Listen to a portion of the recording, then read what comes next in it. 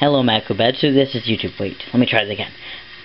Hello, YouTube. This is Makubetsu, um, also known as Arbonos, also known as Tsukune, also also known as Kale, uh, the dragon, not the vegetable, and also known as Sora. I've got a bazillion nicknames, and none of them make any sense anymore.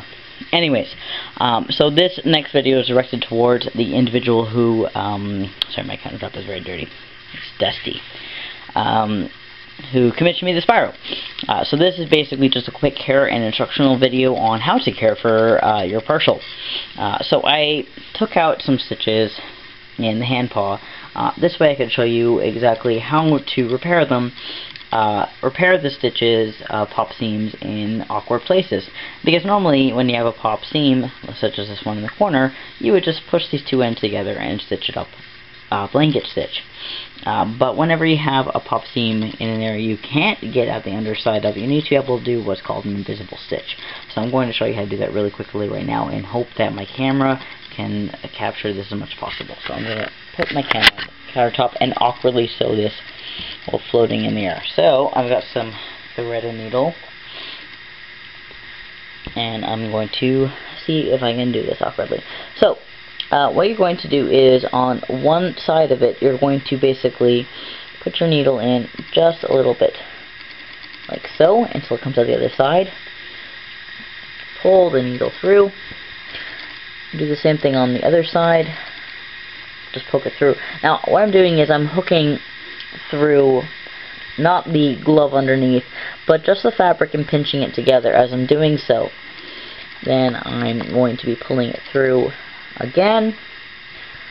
Then again on the other side. Oops, I'm trying to. It's awkward to film this hunched over on a flat surface. Pull it over. As as you can see, as I'm rotating back and forth from the original side to the opposite side, it's slowly pulling in the two pieces of fabric, sorry, together. And that's essentially how you do an invisible stitch. Um, now, I'll probably redo the stitching um, by afterwards because it's a little bit awkward to try and do this. Um, no, but essentially that's what an invisible stitch looks like. Um, yeah, so afterwards you would just tie a knot in the end there, and then, you know, cut off that little bit, and that's basically how you do an invisible stitch. I will redo that in a second and make it nicer. That aside, the next thing that you will need to know um, about your suit and carrying is that the paw bottoms that you have for your feet are not outdoor tread. Uh, basically, these are not to be worn outside. Um, they are just simple foam um, uh, with a bit of, you know, a bit of a vinyl, you know, tread on the bottom, but they are not meant for outdoor bottoms. This is all resin down, but it will not stand long periods of time outside, especially in the rain. Do not get them wet uh, because it'll ruin your feet bottoms. They're not meant for outside. They're not meant for, you know, a lot of, you know, strenuous activities. So don't try, like, doing jumping jacks and backflips and acrobatics and other crazy stuff for this. It's meant for walking from A to B and for photos. Um, that's basically just a general care thing because these are just a very, very simple feet bottoms, which is what you'd ask for. Uh, the next thing to know would be about your head. Um, and that BMP is that when you get it, your jaw might not fit your, sorry, the jaw, the moving jaw might not work for you right away because I've currently rigged it to basically fit for my jaw. Um, that being said, you might need to add a little bit of foam on this elastic right here, or just underneath the elastic, in order to bring the jaw closer to your jaw. Um, so you'll just need a little bit of hot glue and some craft foam and a little bit of trial and error until you can raise the jaw um, until it's closer to you so that it actually connects.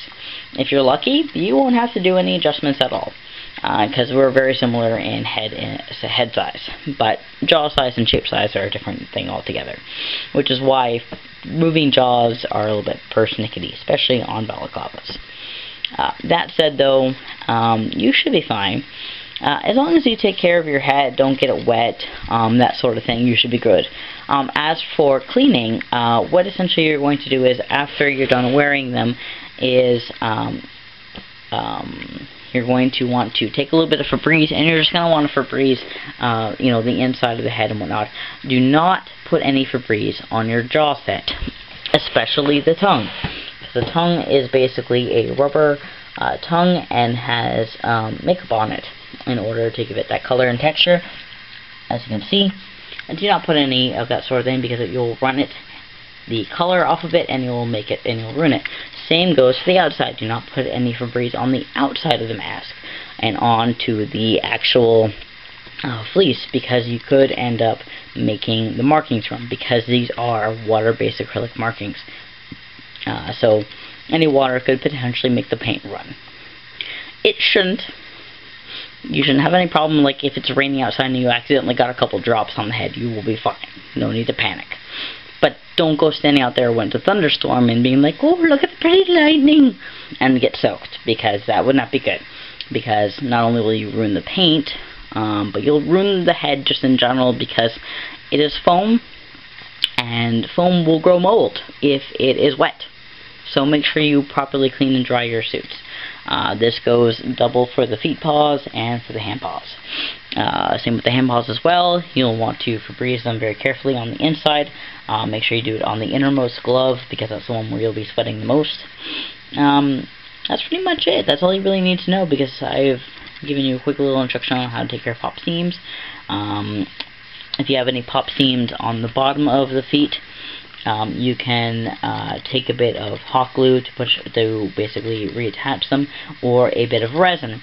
Uh, there's a type of resin that you can actually buy from uh, the dollar store. It's actually an epoxy glue. Um, um, it's basically you mix the two different kinds together, let it, uh, you know, scrape, put it on top of whatever you need, and let it cure. Uh, that being said, you'll only want to use it for the tread itself, and be careful not to get on the, on the fleece itself, uh, because if you do, you'll end up with a smudge mark like this, and you can't get it off. But on the bottom, so I don't care. Because I'm mean. Uh, that being said, that's pretty much all you need to know. Uh, if you take good care of this head, uh, this head should last you for many times. If you have any questions, you know where to contact me. And I hope you enjoy Spyro, and I hope you can take good care of him. And please show me uh, an unboxing photo when you get him. I will be shipping this out probably tomorrow. And I hope you enjoy him. I'm going to miss him. I had a lot of fun making this guy especially the airbrush markings. These are probably one of the nicest airbrushings I have done. Um, thank you once again for watching, and this is Macabitsy, and I'll see you all later. Bye.